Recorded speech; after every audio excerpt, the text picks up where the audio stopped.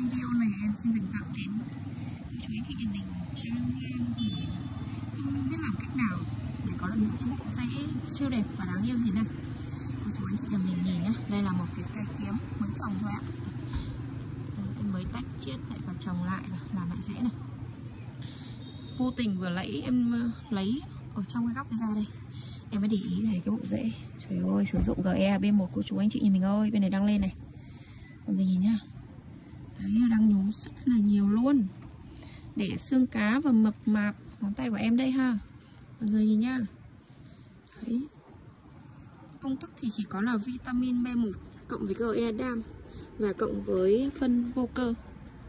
Ở đây thì em sẽ dùng B1 của thái và NPK 20 đều của Mỹ. Công thức em có để ở trên góc màn hình. Cô chú anh chị mình có thể tham khảo để à, làm được những cái bộ rễ siêu đáng yêu thế này cho vườn nhà mình nha.